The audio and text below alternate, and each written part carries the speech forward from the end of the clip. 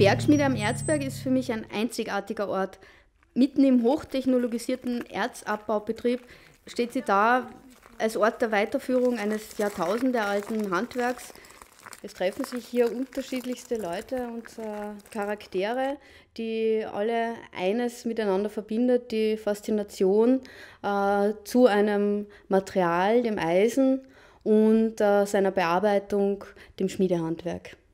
Da bin ich mit meinem Vater in die Werkstätte gegangen, wo er gearbeitet hat. Und da hat er mir ein Feuer eingeheizt und hat mir eine Stange in die Hand gegeben. Und ich habe äh, dort als Sechsjähriger äh, auf die Stange mit dem Hammer aufgeklopft. Nicht? Und damals ist die, äh, äh eigentlich bei mir äh, äh, der Urgedanke entstanden, ich will auch Schmied. Nicht? die Bergschmiede äh, gibt es in Eisnitz seit dem Jahre 1994. Und mit vier Kollegen haben wir da acht Monate diese Werkstätte installiert und hergerichtet.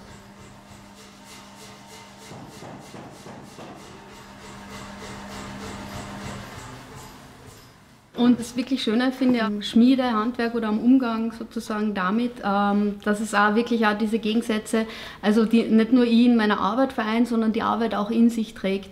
Dass sozusagen ähm, also ein Wechselspiel zwischen Stillstand und Bewegung, zwischen äh, Geist und Handwerk ist und äh, zwischen äh, Reflexion und Intuition. Also das ist wirklich eine sehr, sehr spannende Auseinandersetzung und äh, man arbeitet mit allen Elementen und man arbeitet eigentlich auch mit allen Sinnen.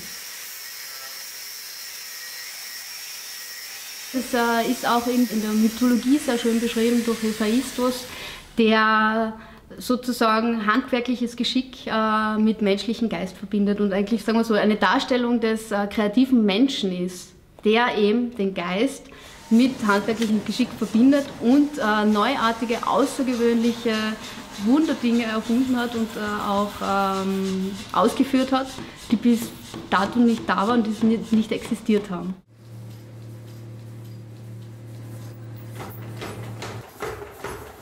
Ich versuche die, die Attribute des äh, Eisens aufzuheben, sozusagen, dass das Schwere leicht wird, dass sozusagen das äh, starke fragil erscheint.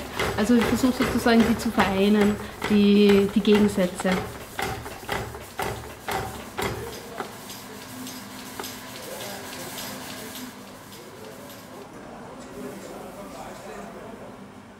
Also das Schöne ist, dass wir uns sozusagen äh, in, in dieser äh, Liebe zum, zum Handwerk und zum Material treffen und dass man eigentlich wirklich aus unterschiedlichen Welten kommen. Er hat äh, jahrzehntelange Schmiedemeister, Erfahrung und äh, ich komme sozusagen aus dem künstlerischen Bereich, aus einer ganz anderen äh, Sichtweise.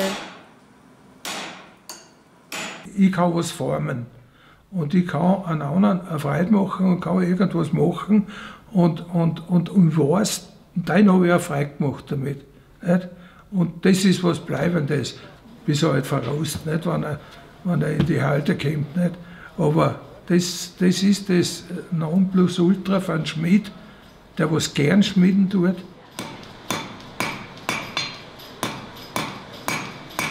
Ja, das Interessante und das wirklich Schöne an, äh, am Schmieden und an der Arbeit, sozusagen der Schmiedearbeit mit Eisen, ist einfach, dass es wirklich äh, aus einem Stück herauswächst. Und äh, ich betrachte es eher so, dass ich sozusagen damit im Raum zeichnen kann. Also wie ähm, dreidimensionale Kalligrafien. Und das ist eben das Schöne, dass es wirklich äh, sehr organisch herauswächst. Du kannst sozusagen wirklich aus einem, einem kleinen Stück Flacheisen äh, irrsinnig schöne, feine, große Linie machen und in den Raum schwingen lassen. Ähm, was äh, ein, ein, schöner Punkt, äh, gemeinsam eben äh, diese Eisenblüte vor der Bergschmiede umzusetzen, wo eben sozusagen eben diese, diese zwei unterschiedlichen Welten sich getroffen haben. Sozusagen der, der Siege mit der Idee des, des Bohrhammers, der da hineinbohrt und dann Beine, Eisenblüten herauswachsen lässt. Und dann auch noch eben diese fantastische Geschichte mit dem Wunderknauer ähm, äh, überlegt hat. Bergmann hat äh, diese, äh, beim Bauern diese, diese Eisenblüte äh, äh, momentan aufgeweckt und die ist während dem Bauern ausgewachsen. Nicht? Und dann haben sie, die, äh, äh, haben sie das, den Stein nicht sprengen dürfen, sondern der ist so lassen worden. Nicht? Und dann kann, den kann man besichtigen. Das war, das war meine Sage praktisch nicht, über das. Nicht?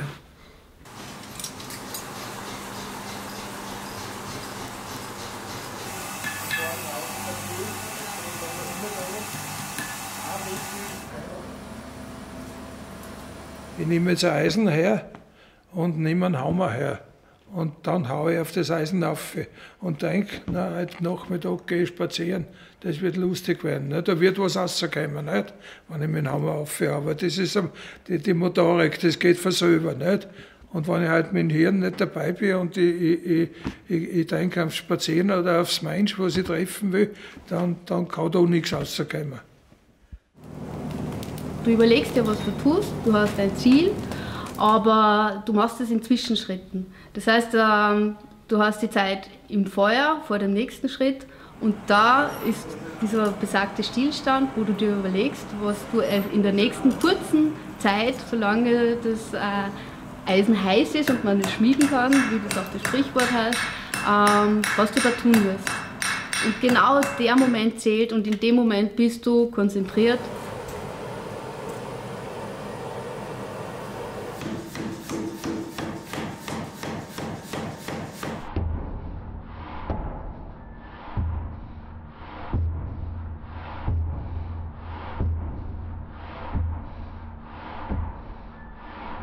Mir passiert es immer öfters, dass ich solche schönen Glücksmomente vor dem Feuer habe und beim Arbeiten habe. Und ähm, deswegen glaube ich, werde ich noch lange weiterschmieden.